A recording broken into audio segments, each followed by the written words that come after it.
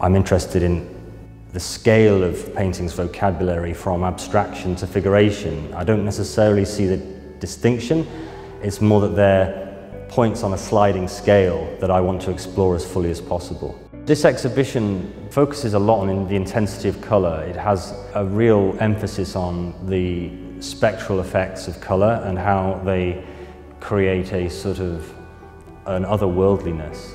I think even with simple subjects, once the colour becomes heightened, then you add another layer of unreality. And I think all the time I'm trying to sort of begin with something recognisable and ordinary and take it into a world where everything is unfamiliar.